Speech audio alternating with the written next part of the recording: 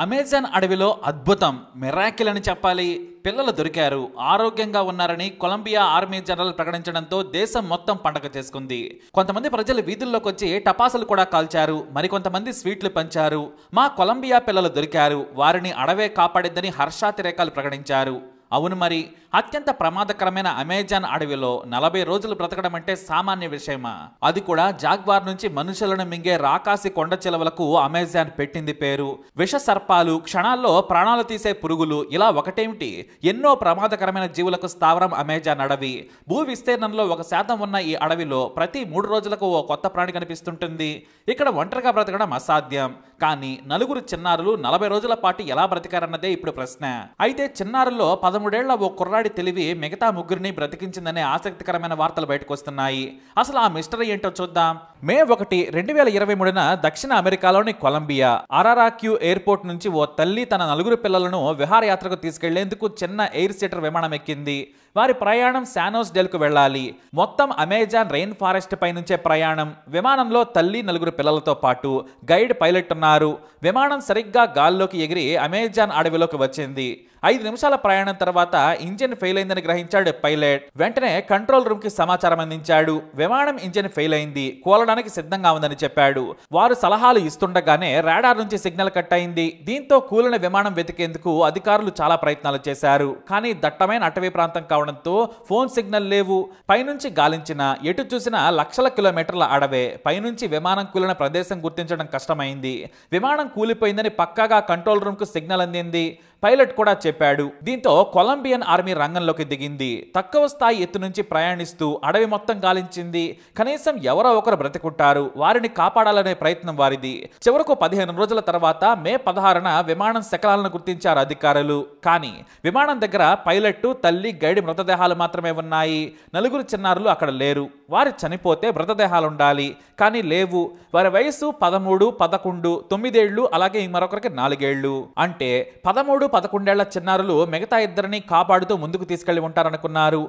నిజంగానే కాస్త దూరం ప్రయాణిస్తే సగం తినేసిన పండ్లు దొరికాయి. మరో చోట విమానంలో తెచ్చుకున్న స్నాక్ ప్యాకెట్స్ను తినిపడేశారు. ఇంకాస్త దూరంలో వాటర్ బాటిల్ దొరికింది. దీంతో చిన్నారులు బ్రతికే ఉన్నారు. మరి ఎక్కడ? ఇదే సమాచారాన్ని అధ్యక్షుడు గుస్తావా పెట్రో ప్రకటించారు. నలుగురు చిన్నారులు బ్రతికే ఉన్నారు. తమకు ఒక పాలపేక కత్తెర చిన్న వాటర్ బాటిల్ కనిపించింది. ఎక్కడో నలుగురు పిల్లలు క్షేమంగా ఉన్నారని ట్వీట్ చేశారు ప్రెసిడెంట్. అయితే ఇది క్షణాల్లో వేలర్గా మారింది. కానీ అరగంట లోపే ఆ ట్వీట్ను డిలీట్ చేశారు ఆయన. నాకు తప్పుడు సమాచారం అందింది. నేను ఇంతకు ముందు పెట్టిన ట్వీట్ సరైంది కాదని చెప్పారు. ఆయన అలా ఎందుకు చెప్పారనేది దేశవ్యాప్తంగా కూడా అక్కడ చర్చ జరిగింది. హ్యూమన్ ట్రాఫికింగ్ గ్యాంగ్స్ ఎంటర్ అయితే వారిని కిడ్నాప్ చేసి వేరే దేశాలకు తరలిస్తారని భయపడి ట్వీట్ను డిలీట్ చేసి ఉంటారని ఎనలిస్టులు అభిప్రాయపడ్డారు. ఎందుకంటే చుట్టూ హింసాత్మకంగా జీవనశైలి ఉండే కొలంబియా బ్రెజిల్ ఉన్నాయి. అటుపక్క చిన్న దేశాల్లో కూడా మత్తు పదార్థాల రవాణా నుంచి మనుషుల అక్రమ రవాణా వరకు అడవిలో సాగుతూ ఉంటాయి. అందుకే జాగ్రత్త పడి ఉంటారు. వెంటనే చిన్నారులు బ్రతికే ఉన్నారనే ఉద్దేశంతో మొదట నూట యాభై మంది సైనికులను వెతికేందుకు రంగంలోకి దించారు.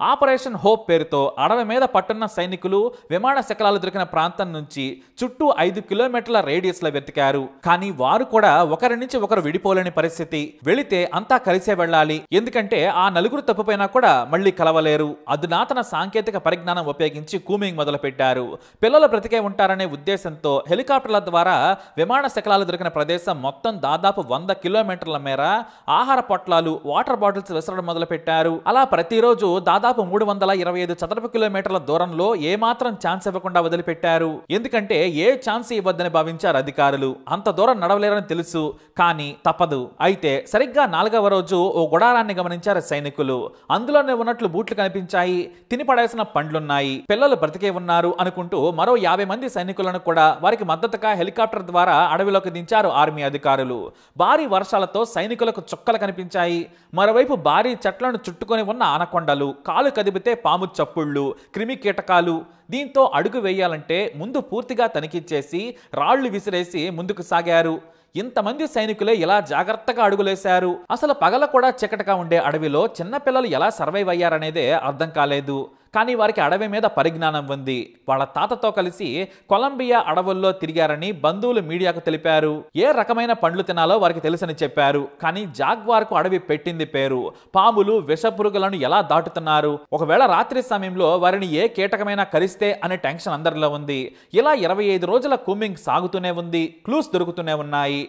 అయితే తమ ఉక్ర వల్ల కాదని చుట్టూ అడవిలో విసిరేసినట్లుగా కొండలపై బ్రతికే గిరిజనుల సాయం కూడా తీసుకున్నారు సైనికులు. వారి ప్రయత్నం ఫలించింది. వేగంగా నడవడం వారికి అలవాటు. చేతిలో పదునైన కత్తితో చెట్లను నరుక్కుంటూ విమాన శకలాల నుంచి మూడు గ్రూపులు ఐదు కిలోమీటర్ల రేడియస్లో వెతకాలనుకున్నారు. అంతకు మించి వెళ్ళలేరు. ఎందుకంటే ప్రతిరోజు అక్కడ వర్షం పడుతుంది. ఆ వర్షమే వారికి వరంగా మారిందని స్థానిక అటవీ ప్రజలు తెలిపారు. భారీ వర్షాలకు జీవులు స్థావరంలోనే ఉంటాయి. ఎండ కాస్తే బయటకు వస్తాయి కాబట్టి జాగ్వార్స్ లాంటి మనుషులను తినే జంతువులు బయటకు రాలేదని చెప్పారు. మరోవైపు నీళ్ళు ఉండడం వల్ల కూడా ఇతర జంతువులు రాకుండా చేశాయి. వాటికి తాగడానికి నీళ్ళున్నాయి. ఇక తినడం కోసం పైనుంచి భారీగా ఆహార పొట్లాలను జాగ్రత్తగా ప్యాక్ చేసి విసిరేశారు.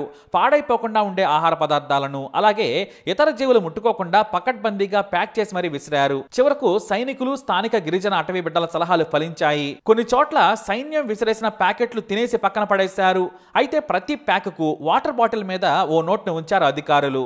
మీరు ఈ నోట్ చూసిన చోటే ఉంచండి. మీరు కదలద్దు. మీకు చుట్టూ మేము ఆహార పొట్లాలు పంపించాము. మిమ్మల్ని వెతుకుతున్నాము. విషపు పండ్లుంటాయి. జాగ్రత్త. మేము పంపిన ఆహారమే తినండి. మీకోసం మేము వచ్చేస్తున్నాం అంటూ నోట్లు పెట్టారు. తన తాత పేరుతో కూడా లేఖలు విసిరారు. అయితే పదమూడేళ్ళ కుర్రాడు అద్భుతం చేశాడు. తాము తాగినా తిన్న పొట్లాలను ఓ వరుస క్రమంలో విసిరేస్తూ ముందుకు సాగారు. అలా వెతుక్కుంటూ వెళ్ళారు సైనికులు. సరిగ్గా అక్కడే ఓ చిన్న నీటి కొలనులో చేపలు పడుతూ రాళ్ళ మీద హాయిగా కూర్చున్నారు పిల్లలు. నాలుగేళ్ళ చిన్నారి పైన కూర్చొని చూస్తోంది.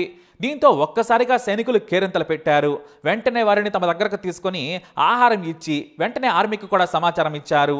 తమ లొకేషన్ పంపడంతో చీకట్లోనే అందరినీ ఎయిర్ లిఫ్ట్ చేశారు. Miracle miracle miracle. నలభై రోజుల తర్వాత పిల్లలు దొరికారు. అంతా ఆరోగ్యంగా ఉన్నారని ట్వీట్ చేయడంతో దేశం మొత్తం పండుగ వాతావరణం. మా కొలంబియా బిడ్డలకు అడవిలో బ్రతకడం తెలుసంటూ జనం వీధుల్లోకి వచ్చి కేరింతలు పెట్టారు. టపాసులు పేల్చి స్వీట్లు పంచుకొని తమ సొంత బిడ్డలు బ్రతికారన్నంత సంతోషపడ్డారు. అయితే పదమూడేళ్ళ కుర్రాడు వారిని జాగ్రత్తగా కాపాడుకున్నాడని ఓ అధికారి చెప్పాడు.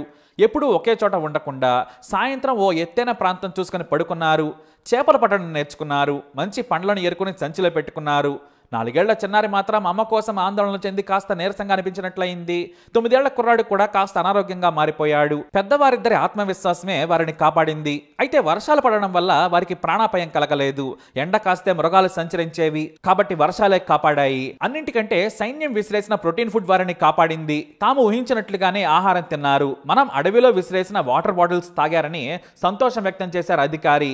అయితే ఆ పదమూడేళ్ళ చిన్నారి అసలు ఎలా సర్వైవ్ అయ్యారో చెప్పే స్థితిలో మాత్రం ఉన్నాడు. కాకపోతే వారికి మెంటల్ ట్రామా ఉందని డాక్టర్లు తెలియజేశారు. ఎందుకంటే బయట ప్రపంచంలోకి రాగానే అమ్మా నాన్న గుర్తొచ్చారు. అడవిలో బ్రతకడం వల్ల కాస్త ఆలోచన పరంగా కూడా ఇబ్బందులు పడుతూ ఉన్నారు. వారికి ఆడుకోవడానికి బొమ్మలిచ్చాం టీవీలు చూస్తూ గడుపుతున్నారు చికిత్స సాగుతుందని డాక్టర్లు తెలిపారు. అయితే చిన్నారులు ఎలా బ్రతికారనే దానిపై ఇప్పటికీ టీవీ డాక్యుమెంటరీలు చేసేందుకు పలు ఛానల్స్ ముందుకొచ్చాయి. చిన్నారుల తండ్రి తాతను కలిసి తాము కోట్ల రూపాయలు ఇస్తామని తమకు మాత్రమే చెప్పేలా హక్కులు కల్పించాలని కోరుతున్నారట. మరి ఆ చిన్నారి ఏం చెబుతాడు? భయంకరమైన కాకులు ధోరణి విశాల అడవిలో మృగాల మధ్య ఎలా బ్రతికారనేది చిన్నారి చెబితేనే తెలుస్తోంది.